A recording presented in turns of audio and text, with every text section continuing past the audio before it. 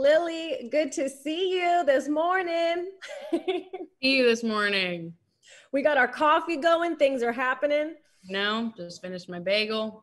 Yes, it is a good Wednesday. Um, so I watched the film last night. Obviously, this is such a different character from what we've seen you in before. Mm. Be- when you got this script or when you were approached about this or if you you were seeking out this character of grace what attracted you to her? And you're also a producer on this as well. Yeah executive produced um, yes congratulations on that too. That's awesome. I love that.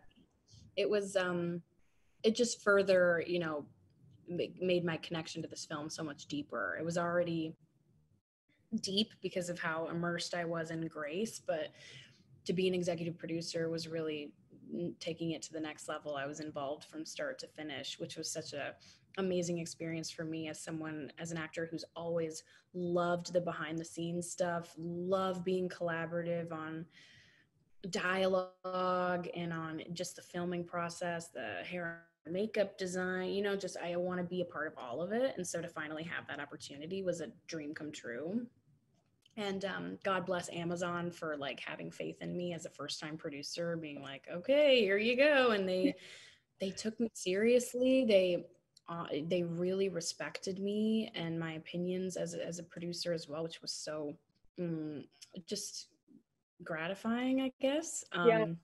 i was very appreciative of it but also just the story in general i was very taken with the the rawness to it. I think in in young love stories, there's often a campiness to it, a heightened reality.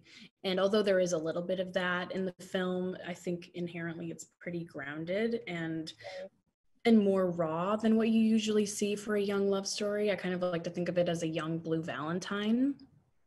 Just a, you know, just like uh it doesn't it doesn't it's it's told from also the male perspective, which is which is really interesting. I think a lot of times these stories are told by a young girl who's chasing after a guy, or you know, it's a love triangle with two guys. And I, I think um, this film just brings a different perspective that maybe not a lot of people have seen on on screen before definitely um and and obviously a lot of your fans know you as betty which they should obviously such an amazing character there too as well um do you find yourself looking at what you did here with uh, Chemical Hearts, knowing that you were part of the behind the scenes as well and, and have such a title, will you continue to seek out roles like this to just, you know, venture out, try different uh, areas, and also continue to be behind the scenes?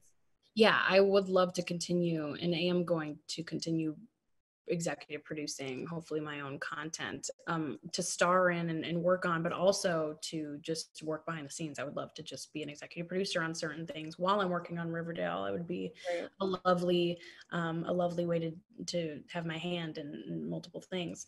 Um, so yes i forget what the first part of the question was. Just a lot of fans obviously know you Right, right. So yes, you know, taking I, on these different roles. I, I, I ask a lot of questions in one, so you know. That's okay. I love it.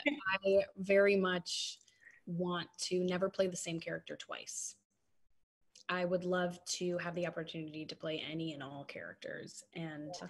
people with so like there's so many stories to tell, so many beautiful stories of women to tell, and I think I am, am here for all of it. I would love. I would, don't want to limit myself, you know, I would love to, to um, continue playing uh, these women who have beautiful backstories who are even you know even hustlers like just just different different women different backgrounds different yeah. lives different personalities like that's the fun of that's the whole point of acting i'm playing pretend i'm playing a role and so right want to keep playing these different characters. Yeah that's something i'm definitely always on the lookout for.